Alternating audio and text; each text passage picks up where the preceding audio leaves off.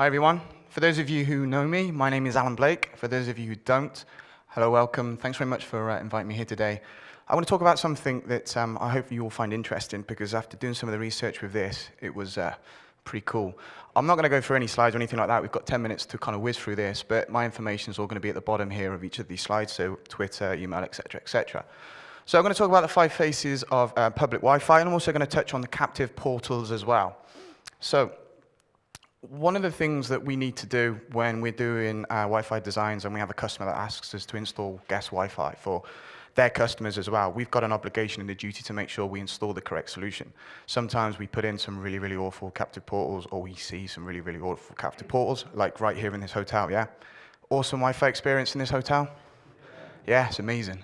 So, um, so I did a little bit of a blog on this, and I've kind of did a bit of a twist on this about taking off our Wi-Fi hatch just for the minute and just be that user. So I just want to base this on your own personal user experience. What do you want to see when you connect to a Wi-Fi network? How good do you want your experience to be?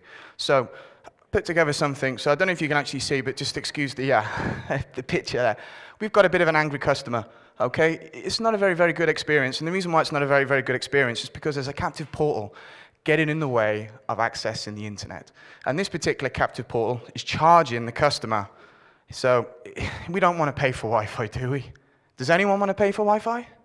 No, come on. So why do we, well, why do we see that? I, I have no idea. I mean, the business model is completely flawed. You know, we need to start trying to convince customers that their own customers don't want to pay for free Wi-Fi, for Wi-Fi access. It needs to be free. It drives the customers away as well. So, you know, how many people, hand on heart, may come back to this hotel based on their Wi-Fi experience? Hands up. So if the hotel's listening, so then here we have a bit of a slightly improved Keith. You know, he's getting better. He's not as angry. He's not the demon that he once was. This time we've got a captive portal here that is, I suppose, asking us to register our information this time. Okay, so we're going to use either a username and password that they give us at the reception, like here in the hotel, or they're going to give us, or we're going to have to put in our own information, such as, you know, password uh, for emails, or we're going to have to create our own account, so you're going to give them your personal details, et cetera, et cetera. But there could be some restrictions on this particular um, Wi-Fi service, such as data caps or restricted speed. And they might even offer you an alternative solution that you have to even pay for. So they'll give you something for free, but it's basic, it's simple. But then on the other hand, they'll give you something that says, well, we'll give you, I don't know, six meg faster speed, but you're going to have to pay for it.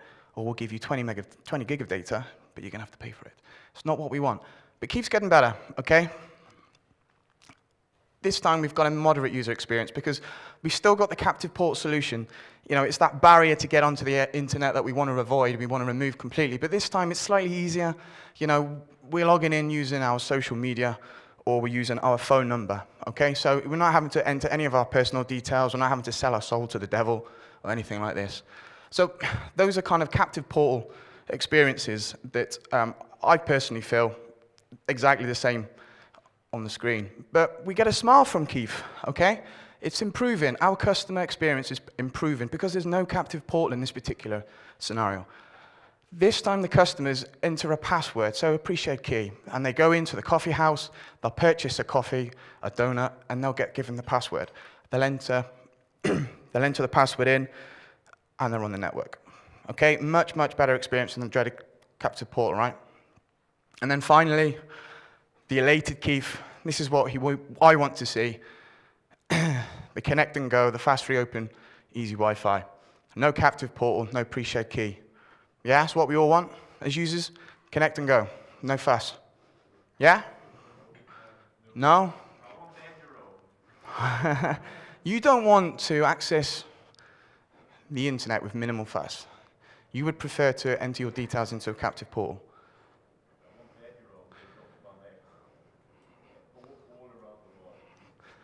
Okay.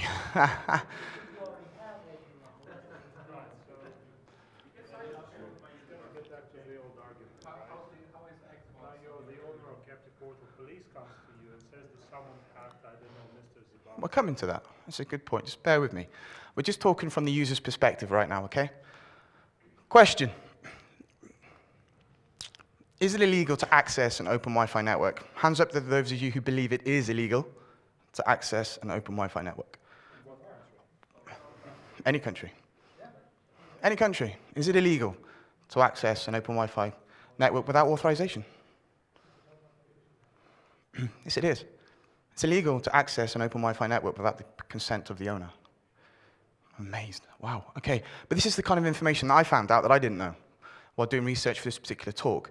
It's, it's, it's fascinating. Is it illegal to operate an open Wi-Fi network? Is it? Depends on what country you're actually in. It isn't illegal. Say, for example, here in Germany, I believe it is, it's frowned upon if you do not secure your Wi-Fi network. In the UK, in Canada, in the US, it isn't. You can actually operate a Wi-Fi network that's open without any issues at all. Yeah.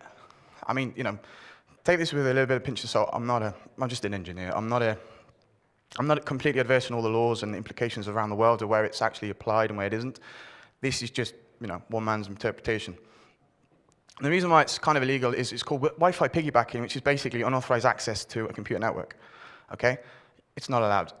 I even hear excuses, and I've read excuses that, you know, even if you have no harmful intent, you're just checking your email. You're still breaking the law, technically. Yeah? Even if the SSID said it was free, you're still breaking the law. Even if the, even though the Wi-Fi operates on an unlicensed spectrum, you know, they don't own that RF. You're still breaking the law. And you can be prosecuted. And here's a wonderful case. This is brilliant. A guy called Sam Peterson he was sat in his car outside a coffee house checking his emails, and a BDI police officer came over to him and said, Excuse me, sir, what are you doing? Checking my emails.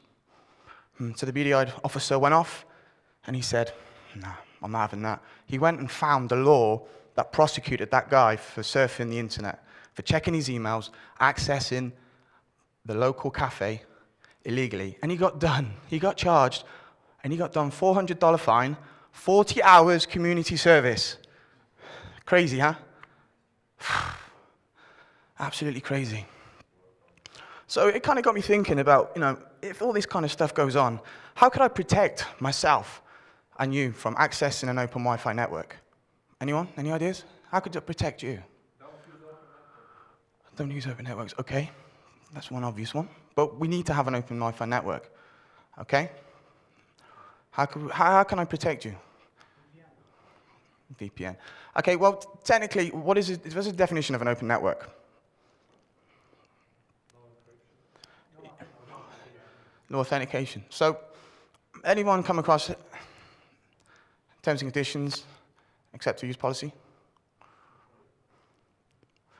So that's what grants you permission to actually access a Wi-Fi network.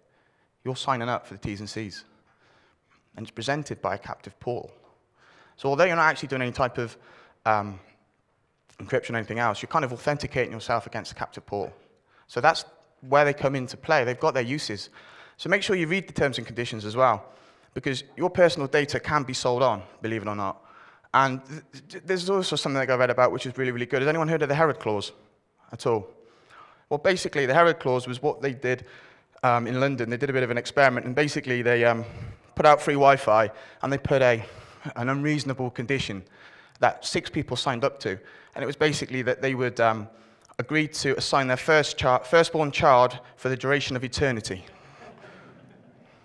Some people, huh? and here's an example in my superstore in my town, exactly, of a captive portal that's asking me for my mobile number and it's going to give my personal details, it's going to share and pass on to all the subsidiaries and groups associated with that particular company. And that's something that I don't really want. Do you? So the other question is we had about, well, without the need of having a captive portal, what about if we actually are on the premises? What if we've actually bought the coffee and they're offering free Wi-Fi? That grants us permission to access their Wi-Fi network, believe it or not. no captive portals required. We can connect and go. Easy peasy. So I got another question. Who gets prosecuted if a user on that open Wi-Fi network in that coffee house, who gets prosecuted if they committed a felony? So they did a copyright infringement, downloaded an illegal movie. Who gets prosecuted? Sorry. Question. Okay, sorry. Was, uh, so, so they've got three options. You've got the ISP, the Wi-Fi provider, or the actual user.